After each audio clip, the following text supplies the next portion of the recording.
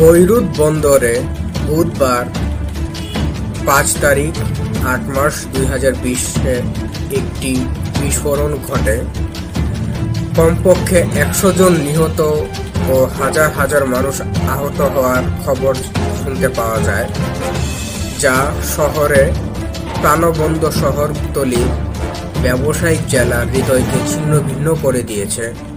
আমরা এখন পর্যন্ত যা জানি তা হলো, এই বিস্ফোরণটিতে কমপক্ষে একশো তেরো জন মারা গিয়েছে, যার মধ্যে বেশ কিছু বাঙালিও রয়েছে এবং চার হাজারেরও বেশি আহত হয়েছে।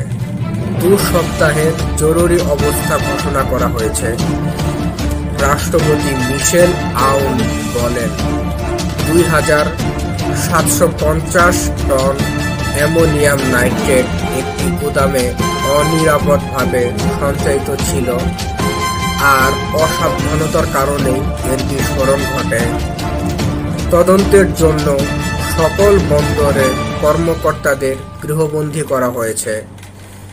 শুল্কের প্রধান বদরি দাসের স্থানীয় গণমাধ্যমকে জানিয়েছেন যে তার সংস্থা বারবার অ্যামোনিয়াম নাইট্রেট অপসারণের জন্য বলেছিল, কিন্তু গুদাম জাতের মালিকেরা এটি, এটির পরোয়া করেনি এবং তারা জানায় গবেষণার জন্য এগুলো রেখে দিয়েছে তারা। অ্যামোনিয়াম নাইট্রেট কৃষিতে সার হিসেবে ব্যবহৃত হয় এবং বিস্ফোরক হিসেবেও ব্যবহৃত হয়।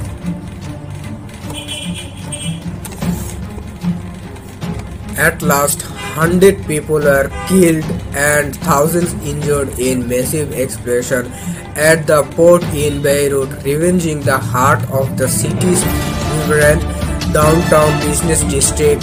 Here, what we know so far, the blast which shocked the whole city killed at least 113 people and injured more than 4,000 others.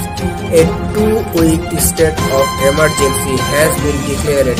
President Michel Aoun said the blast was caused by 2,750 tons of ammonium nitrate stored unsafely in a warehouse. All port officials have been put under house arrest pending in an investigation.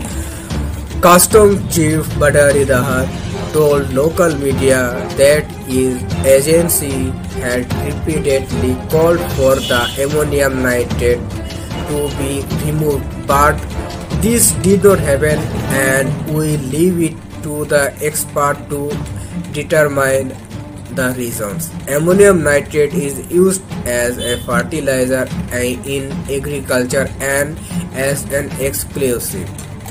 Explosive.